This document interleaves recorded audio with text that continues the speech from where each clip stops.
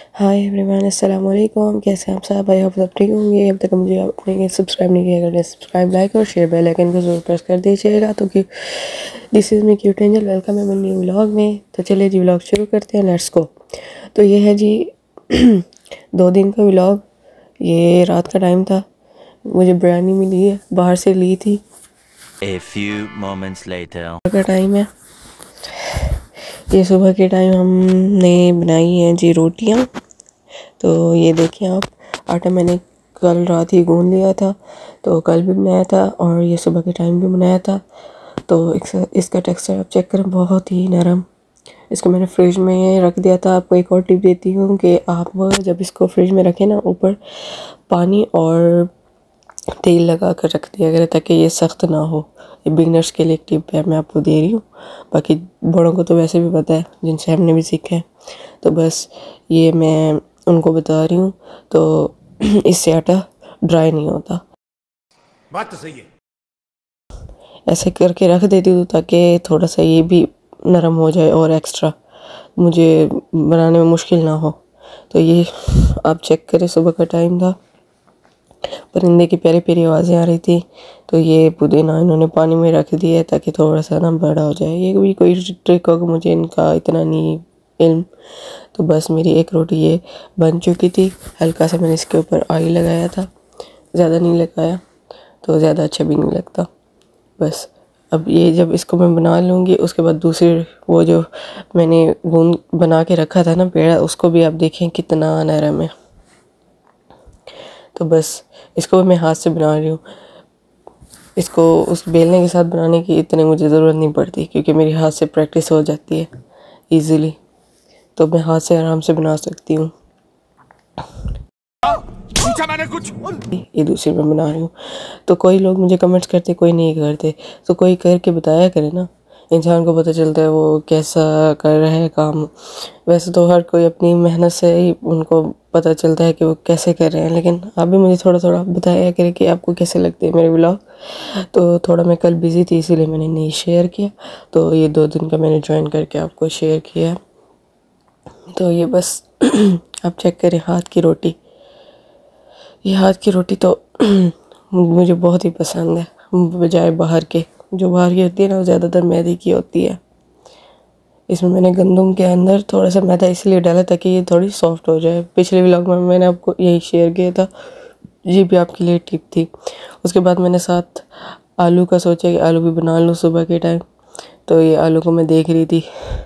मैंने कहा medium size में ये थोड़े से बड़े कोई बात नहीं, दो भी या एक भी उठा लूँगी। तो ये मुझे इस टाइप के मिले हैं सारे।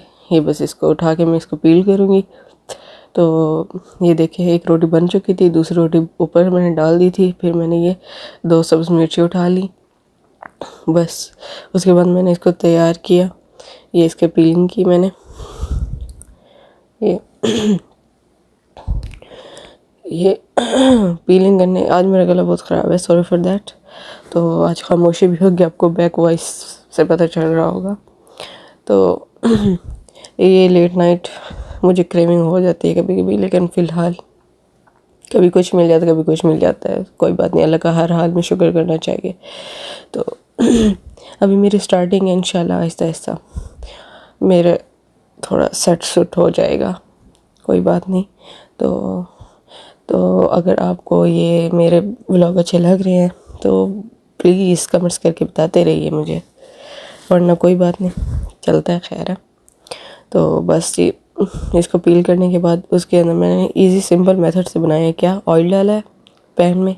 उसके अंदर फिर मैंने ये सब्ज़ मिर्चें, ऊपर ये आलू आलू के ऊपर नमक और मसाला और कवर कर दिए बिल्कुल स्लो फ्लेम पे, जैसे एक नुकता नुकता नहीं होता, उतना सा। उसके बाद पाँच दस मिनट बाद चेक करता रहे आप। फिर मैंने देखती रही दो पाँच मिनट ऐसे गैप दे के। बहुत ही अच्छे और टेस्टी बने, इतने सॉफ्ट जले भी नहीं है, बहुत ही मेरे फेवरेट तरीके से बने ये मैंने सुबह का नाश्ता किया था। बस वो आपको मैं नहीं दिखा सकती क्योंकि मैं थोड़ी बिज़ी हो गई थी। तो खैर, बस ये मेरा नाश्ता था सुबह का। आप चेक करें। आदतों का ख्याल करना चाहिए वैसे। कुछ चीज़ मैं बिगनर्स को दिखाने के लिए करती हूँ ताकि वो भी देख लें। उनको भी थोड़ा सा फ़ायदा हो। तो मैं वहीं आपको दिखा रही हूँ शेयर कर रही हूँ। ये साथ में ये दो बोतल रखी हुई थी, एक कैचअप एक मायनीस ये तो यूज़ होती रहती है ना घर में, इसका तो कोई वो नहीं है।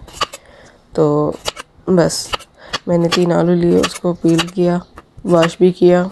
वॉश करने के बाद बस इसको ऐसे ही मैंने सिंपल बनाया। जो जो अपने घर में बनाते हैं वो मुझे कमेंट्स करके बताइए कि वो वाकई ऐसे नाश्ता करते हैं और किन किन को इस तरह के आलू बना के मज़ा आता है सुबह के नाश्ते में। तो बस ये हो गया मेरा। इसके बाद इसको कट करके ना मैंने वॉश करना है। बस, रोटी मेरी बन चुकी थी। तो अगर आपको मेरे व्लॉग अच्छे लगते हैं तो इसको सब्सक्राइब भी करें मेरे चैनल को। कुछ लोग तो व्यूज़ करके ना चले जाते हैं। तो थोड़ा सब्सक्राइब करके ट्राई करके देख लें। कोई नहीं, पैसा नहीं लगता इसमें। लाइक भी कर दिया करें शेयर भी कर दिया करें। तो हाउस वाइफ का तो काम यही है ना। तो मैं कभी कभी बाहर जाती हूँ, ज़्यादा बाहर नहीं जाती। तो इसीलिए घर की रूटीन आपको शेयर करती हूँ। जो लोग बोर होते हैं तो बाकी उनकी मर्ज़ी है। तो बस अल्लाह सबके रिस्क में बरकत दे। ये मैंने अब कट करके ना इसको जाली में डाल के इसको वॉश करना था।